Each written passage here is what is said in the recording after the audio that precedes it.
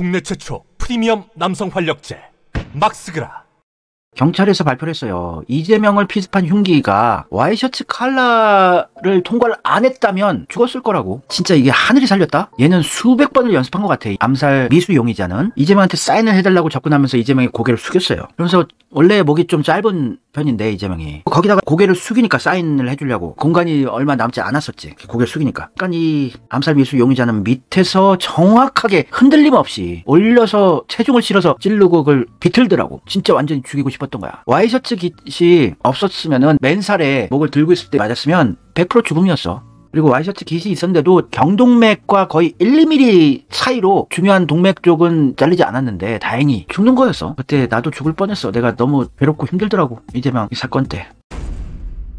거무특틱한 요 색이 붉은색이야. 피로 물든 빨간색인데 MBC 방송에서 너무 잔혹하니까 흑백 처리한 거야. 요 거무특틱한 게 빨간색으로 피로 물든 이재명이 입었던 그 사건 당시의 와이셔츠라고. 여기가 이중으로 돼서 더 깊숙이 못 들어간 게 진짜 하늘이 한민족을 구한 거라고. 이재명을 구한 게 아니라 한민족을 구한 거야, 이거는. 이재명 죽으면 다 끝나. 나도 이재명 만약에 죽었으면 다 끝내고 싶었어, 모든 걸. 이재명의 와이셔츠가 목이 이렇게 다 피로 젖었다고.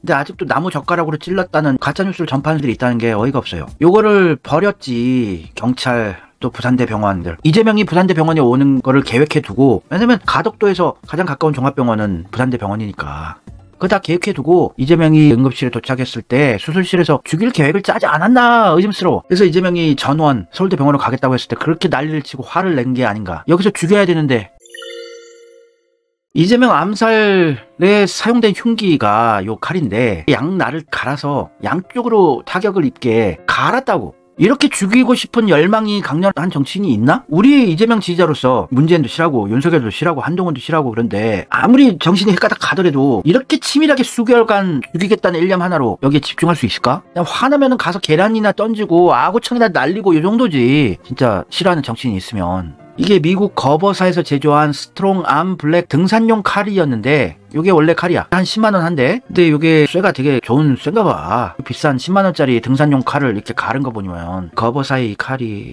포틀랜드 오레곤 포틀랜드에서 만든 칼이에요. 왜 이렇게 비싼 칼을 샀냐? 10만원짜리. 이 조그만 칼 10만원이면 되게 좋은 거 아니야? 강도라든지 이런 거를 또 생각을 해서 좋은 칼을 산 게 아닌가 싶어. 부러지지 말라고 좋은 칼을 산 거지. 스시용 칼은 너무 길어서 휴대하기 힘드니까 최대한 강도가 보장이 된 이런 비싼 칼을 산 게 아닌가 싶어. Gerber라는 칼이 이 포틀랜드 오레곤 오레곤주에서 나온 칼이야. 양쪽 날을 다 갈았어. 이쪽을 칼 손잡이를 떼버리고 테이프로 감아서 휴대하기 쉽고 미끄러지지 않게 테이프로 감았다고. 그 정도까지 준비를 하는 거 보면 이 사람은 그냥 일반인은 아니야. 그러니까 저렇게 딱 손에 그립감이 좋게 테이프를 감고 짧으면서도 휴대하기 편하고 타격할 수 있게 준비를 한 거는 전문가 솜씨라고 박근혜 피습할 때 그 카타칼 정도 수준이라고 보통 사람들은 좀 정신병자나 정치 고관여자인데 정신 좀 이상한 사람들은 카타칼로 한다든지 보통 일반인들은 목을 찌를 생각을 안 해. 보통 일반인들은 일본에서 정치인 암살이 수십 년 전에 있었는데 배를 찌르려고 한다고. 목의 경동맥의 위치를 인식하고 거길 찌른다는 거는 전문가의 솜씨고 배우가 있다는 거야. 보통 배를 찔러요 일반인들은. 배 찌르면 죽는 줄 아니까. 조폭들도 배 찌르잖아 나게. 많이 묵었다 아이가 이러면서. 조폭들도 진짜 사람 죽이려면 목을 찌른다는 생각은 못해. 칼질 좀 하는 조폭들도. 진짜 한 방에 죽일 수 있는 게 이 목 경동맥인데 이번 사건을 통해서 경동맥을 일반인들은 알게 된 거 아니야 그래서 그 신천지와 연관이 있어 보이는 그 소아과 의사가 암살 미수 용의자와 5분 거리에서 살고 알려주지 않았나도 싶어. 의사들은 그건 아니까. 경동맥, 경정맥 이건 다 아니까 의사들은. 의심이야 그냥 의심. 사람 신체 중에서 가장 쉽게 목숨을 빨리 끊을 수 있는 건 목 쪽, 요쪽이라고. 그렇지. 동물들도 동물의 왕국 봐라. 야생에서 치타, 사자, 호랑이들이 사슴 목을 이렇게 물잖아. 빨리 죽일 수 있는 건 목이라고 본능적으로. 동물들도 아는데 인간은 사람 죽여본 적이 없어서 잘 몰라서 그냥 배를 찌르지. 근데 배 찔리면은 그렇게 쉽게 안 죽는다? 빨리 이송만 하면은 과다출혈 전에 빨리 수술만 하면 배 찔리는 거는 치살비 높지 않아. 목이 제일 위험해. 똥침도 위험하지. 똥침 무시무시한 범죄다. 조심해라.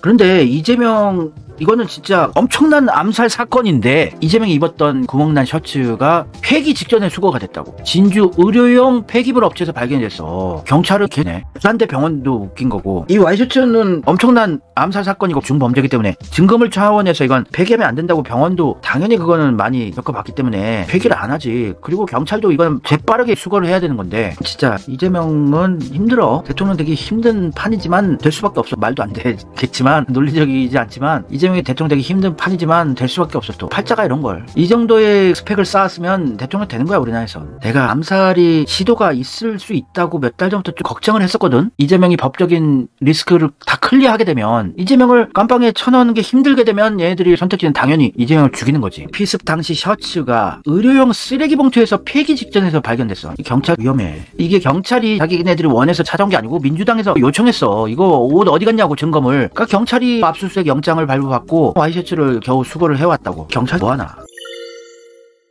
그러니까 경찰이 나도 하찮은 고소건들로 검찰에 송치를 하는 거야. 경찰도 지금 완전 적폐 세력들이 장악을 해서 좀 정의로운 경찰들, 경찰대 출신들 다 조져버려. 이재명 쪽 애들은 다 조지라는 지령이 위에서 있었는지 썸네일 하나 별것도 아닌 거 가지고 내 친구 검사 출신 변호사도 아야 걱정하지 마야 이거는 검찰 송치 아니고 이거는 그냥 끝나는 거냐 걱정하지 말라고 그랬는데 검찰 송치가 되더라고 내가 그거 외에도 몇 건이 장난이 아니야 나 지금 법적으로 나 죄도 안 짓고 평생 전과가 없고 벌금형도 받은 적이 없는 사람인데 지금 이재명 지 지하면서 나도 죽어가고 있어. 경찰 쪽이 다 뿌락치들이 장악했잖냐. 윤희근 경찰청장도 뿌락치 설이 있고 의혹이 있고 김순호 경찰국장도 뿌락치로 의심이 되는 뿌락치로 전 세상을 모든 대한민국의 권력을 다 채우고 있는 상황이라고.